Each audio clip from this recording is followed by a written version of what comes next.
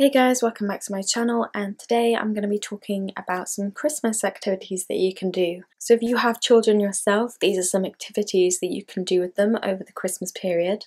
But also if you work with children, whether that's um, children in mainstream schools or children in special needs schools, these are some activities that you can do as well. Lots of these are sensory, so they're very good for people that are very sensory, um, mainly tactile seekers but there are so many more different activities that you can do so I will link lots of things in the description box so check them out. The first activity that you could do is make a sensory box.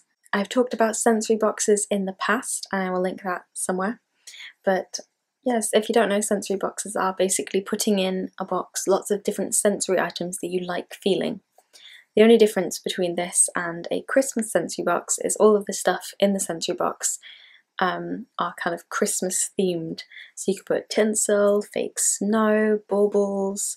Of course, still make sure that it's things inside the box that you like feeling.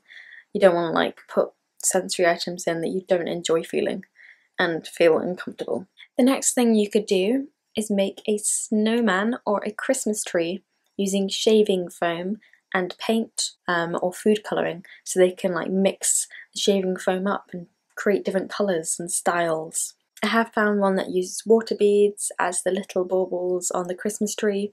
So yeah, all you need is like a space where you can put it out.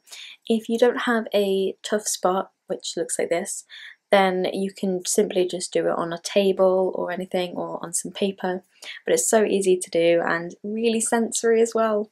Carrying on with that theme, you can also have ice in a tuff spot or a box and have some paint so you can paint the ice as it melts and create really cool pictures. Here are a few examples. The next thing I'm going to be talking about is reindeer. There are lots of different things that you can do surrounding reindeer um, but this is one really cool thing and all you need is some paint, your hands and a piece of paper. You need to get a blue piece of paper get your hands and paint them brown and then do some handprints and make it so it looks like a reindeer. And then you can draw on more details. So you can draw on the nose or stick something that is like a nose. Um, you can put some snow in the background maybe even draw a snowman. But this is such a cool thing to do because it's so easy. Um, so yeah this is something that you can do with like lots of different kids. And it's very sensory having your hand painted as well. I really enjoy that Carrying on down the paint line, the next thing I suggest is making these Christmas tree cards. They're really cool. In the picture you can see that they've cut out a Christmas tree shape using a potato. Ah, oh, the good old times. If you have a Christmas tree print, you can use that, or if you don't, you can always get a sponge and cut that into a Christmas tree shape, or you can get a stencil.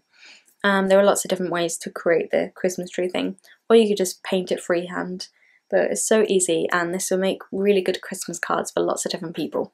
Going along with the Christmas tree themed things, you can also make these Christmas tree cards as well.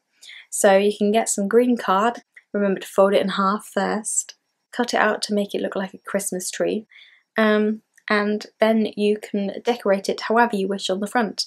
So then when you open it, you can write a card to someone as well. It just looks really cool. I think I might do that with the kids at work.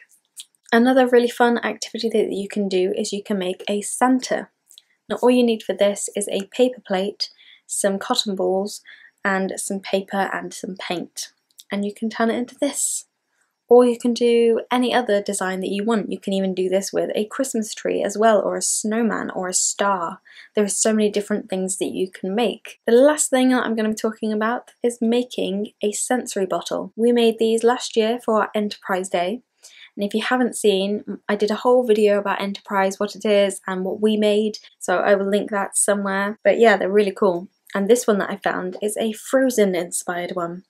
We made some last year that looked like this. It was really, really fun and the kids really enjoyed it. All you need is a bottle, some water, and some food colouring and any sprinkles or stars or anything like that that you want to put in, even beads and then just shake everything together. We ended up printing off a picture of Elsa and taping it on and making a little dress, but you don't have to do that. Um, you can do different ones as well. We ended up making four different sensory bottles.